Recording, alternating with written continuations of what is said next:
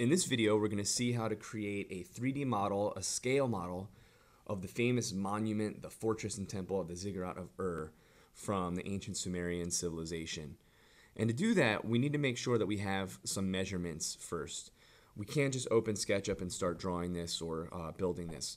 We need to make sure we have actual dimensions so we can create a, a realistic scale model of it. And fortunately, there was uh, an archaeologist named Sir Leonard Woolley who did go and study this ziggurat location, uh, this archaeological site in the 1920s. And from that, we have some information about the size and the scope and how it was built, even though it was in ruins at that time. So we've uh, located some two-dimensional drawings here based on the information we have from these uh, archaeological findings of the ziggurat site. And we need to make sure that we've found many different dimensions in order to create these in SketchUp. We're going to be creating three different tiers plus the temple on top, and it's going to look somewhat like this at the end. So we have multiple views, including this sort of isometric bird's eye view, as well as side elevation, a front elevation view, and a top or aerial view or floor plan. And the reason we need these is because we need to create this in th all three dimensions in SketchUp.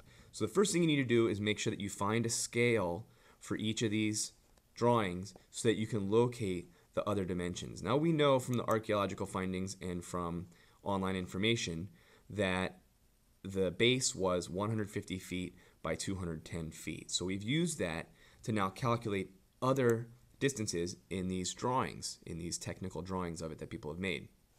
So if we know that the base was 150 feet, we can use that information to find out how much one centimeter represents in this drawing. All you have to do is take a ruler and measure that 150 feet across your screen, divide by the number of centimeters that it is, and that tells you how many feet per centimeter as our scale.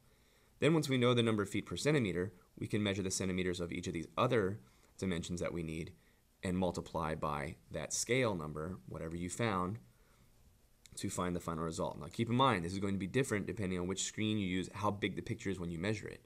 So you need to make sure this picture stays the same size and that you're always working on the same screen if you're going to do it this way while you're using a ruler to measure the measurements and find the other distances.